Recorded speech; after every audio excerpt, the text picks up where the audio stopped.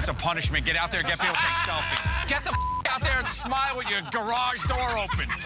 Get out there and smile with the garage door. Guys, please.